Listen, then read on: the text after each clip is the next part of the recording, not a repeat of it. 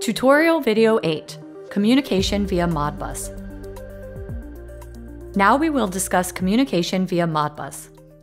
The TM Cobot is capable of different types of communication TCP socket communication, RS232 serial communication, Modbus TCP, and Modbus RTU.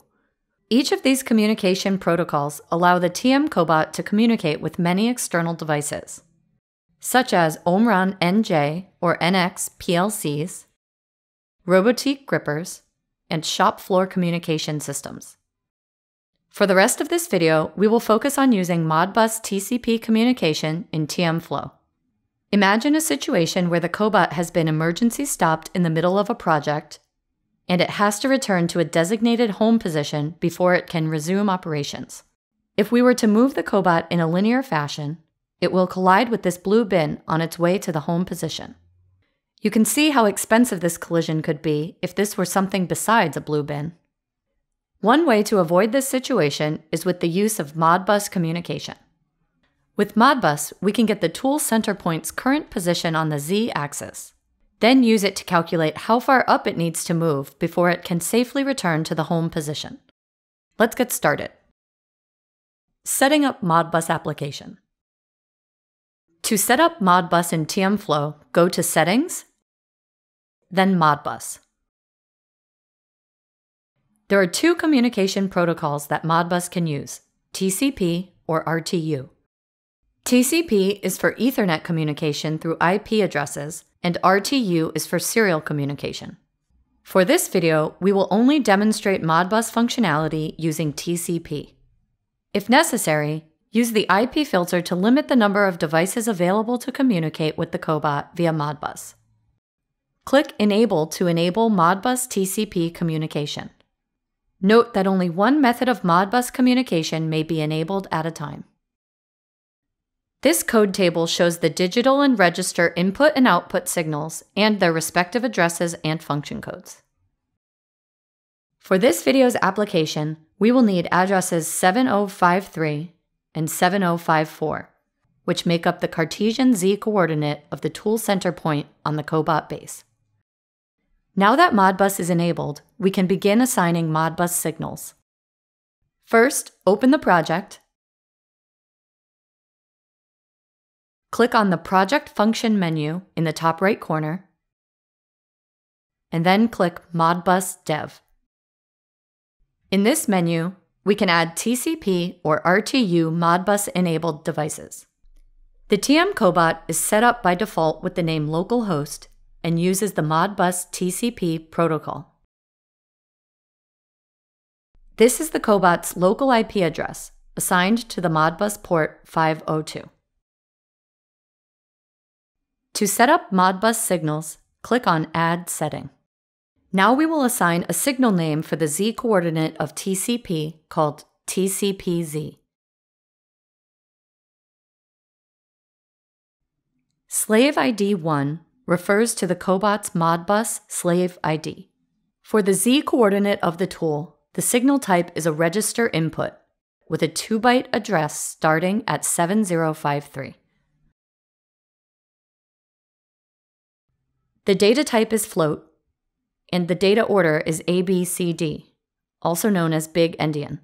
This information can be found in the code table in the Modbus settings menu. Next, we need to initialize three floating point variables.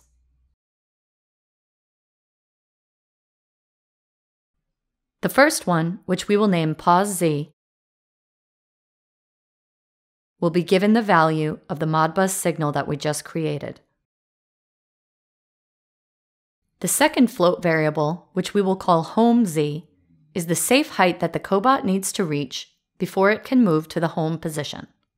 For this application, the safe height is 250 millimeters above the cobot base.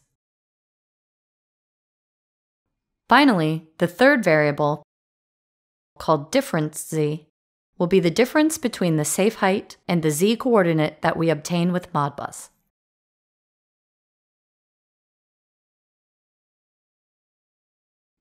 Now that we have initialized our variables, we can use a set node to assign values to them.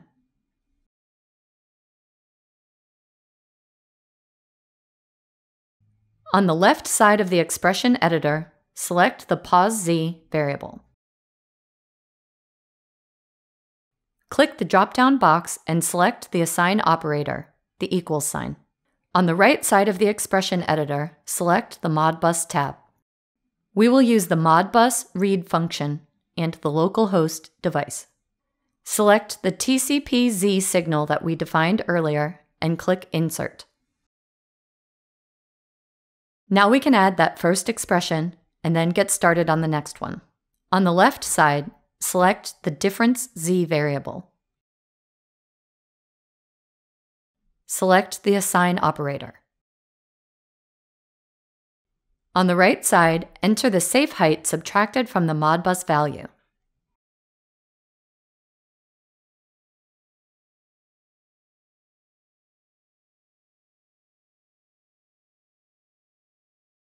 Add the expression and click OK.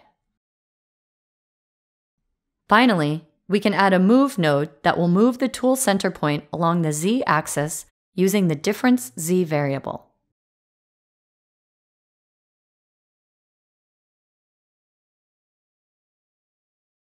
Here is what our application looks like.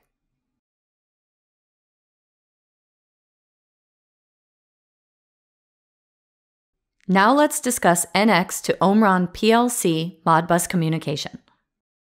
Modbus is an excellent communication tool for external controllers, such as the Omron NJ and NX PLCs. Here is an example of the Omron NX controller using Modbus through a SysMac interface to turn the camera module light on and off. When the green button is pressed, the light turns on. When the yellow button is pressed, the light turns off. This concludes video 8 of the Omron TM series tutorials. Thanks for watching.